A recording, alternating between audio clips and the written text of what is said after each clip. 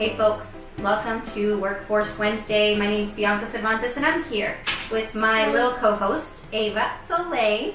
Um, the reason I bring her on today is because we really want to let you all know in the workforce who's working from home that we can totally relate about the whole having to deal with at-home distractions and making things work um, we want to let you know that we're here for you. We we've got your back, and we have solutions for you as well.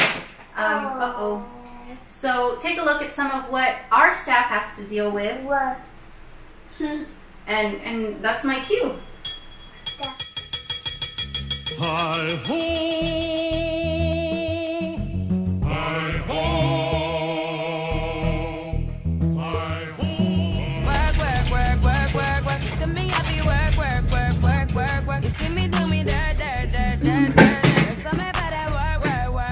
We know it's not easy.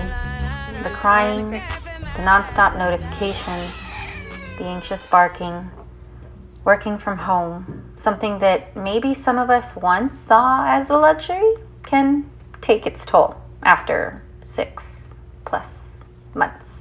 For those of you pulling through, kudos for mastering the art of the at home melting pot. For the rest of us, We've put together some hacks that may help the multi jugglers dealing with children, pets, online school, cooking three meals a day.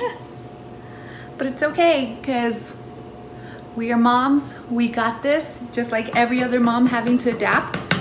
Housekeeping with a 24 7 occupancy of multiple people, whatever your battle. Here's how we remote to survive. One, Except that while all of us handling this are superheroes, we are human. Removing self imposed barriers of not being perfect and not completing the task reduces stress levels just that much more, along with the constant self reminders that you are doing your very best. Two, acceptance should be universal among your virtual office crew because, hey, we're all in this together. If your kid sneaks in and slams your keyboard, screams during a presentation, or your dogs decide to serenade the neighborhood while your CEO is speaking, chances are they'll understand. Three, as the responsibilities from work and home begin to melt together in a giant, timeless blob, make it a daily rule to hold a bubble for disconnection. If you can't disconnect from both, then at the very least take time from your virtual office corner. It's a statistical fact that remote work tends to contribute to longer work hours and more meetings as workers subconsciously access work platforms more easily and throughout the day and night. Stop it. Set clear boundaries or they'll set fire to your peace of mind. 4. Invest in your space. This pandemic, going on half a year with no end in sight, Work from home can now safely be classified as semi permanent, and for some, permanent. Your workspace at home possesses a more expansive luxury of personal expression. Make it comfortable, cozy, make it you. 5. So we're split on the pajama controversy, but there's a healthy compromise. Business on the top, PJ party on the bottom.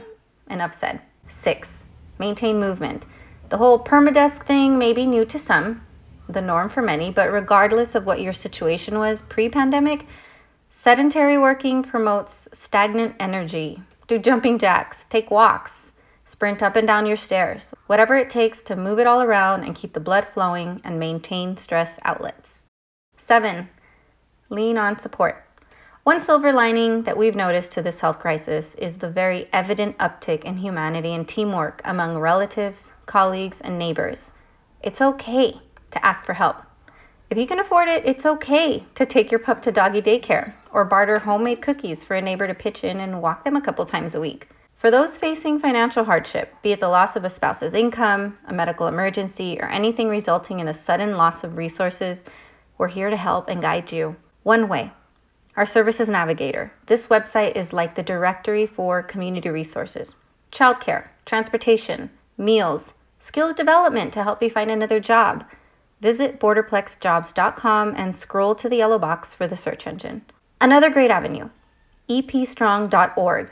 If you click on residents, the resources are countless, be it help with rental assistance, mental health resources, ways to stay fit while staying safe. There's a solution for everyone. Listen, we have your back, Borderplex. And whether you are employed, looking for work, trying to stay afloat as a business, we strive to support our community and economy by strengthening our workforce any which way we can. Count on us, lean on us. All right, folks, and there you have it. So I, I really do want to thank our staff and partners and friends that uh, participated in this segment of Workforce Wednesday. Um, I know it was a lot harder to even add one more task to all the that you have to juggle. But uh, folks, we do plan on doing these types of videos and how-tos to help you get through the day. And at Workforce Solutions Borderplex, as you know, we work for you.